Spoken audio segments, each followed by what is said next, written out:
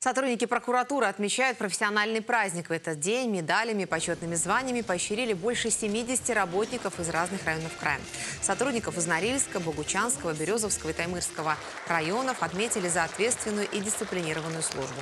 Еще 43 человека получили ведомственные награды, и это самое большое количество награжденных среди всех прокуратур страны.